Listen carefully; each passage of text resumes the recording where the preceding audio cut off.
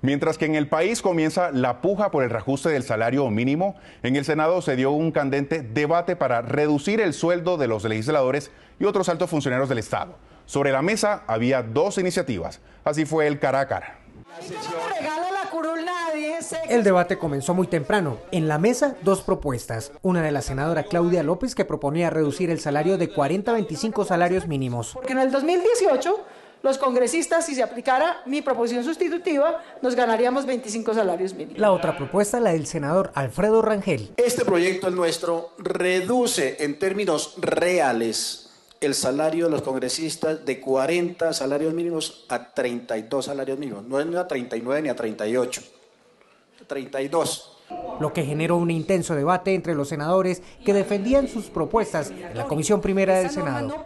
Como no propone ninguna norma general más allá de congelar el problema por, por cuatro años, pues realmente no estamos solucionando nada, estamos congelando un problema. Entonces no entiendo por qué la doctora Claudia dice que si votamos en contra de este y a favor del Rangel hay conflicto de intereses, si es que son lo mismo. Mensajes iban y venían. ¿Esta norma cubriría también ese tipo de entidades? Es decir, aquellos cargos que se hacen por concurso con mérito técnico y experiencia, a diferencia de este Congreso donde no hay ningún mérito y ningún requisito distinto del voto popular para venir.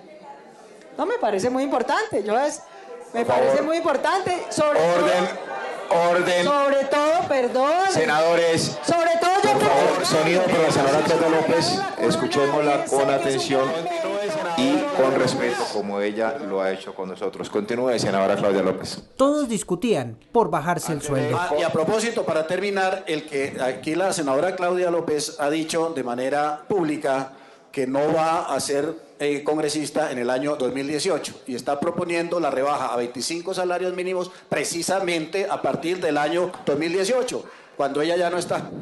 Históricamente nunca había ocurrido esto senadores haciendo una ley para bajarse el sueldo. Señor presidente, la proposición sustitutiva de la honorable senadora Claudia López ha sido negado. Al final, una propuesta es la vencedora, la del senador Alfredo Rangel del Centro Democrático. Ha sido aprobado con el siguiente resultado por el sí 12, por el no 2 situación que dejó inconforme a la senadora Claudia López. Mi iniciativa nunca se puso ni siquiera en consideración.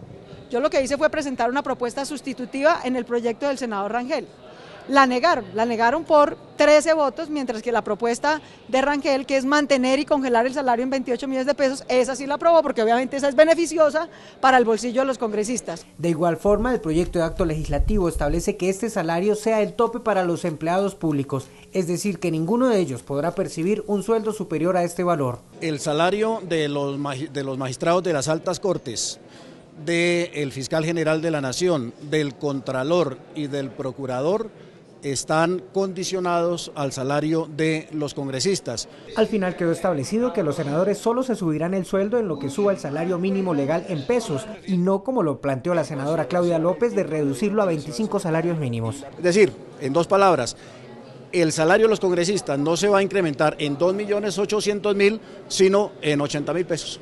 Se calcula que solo en el Senado se ahorren con esta medida 54 mil millones de pesos y 113 mil millones de pesos a nivel nacional.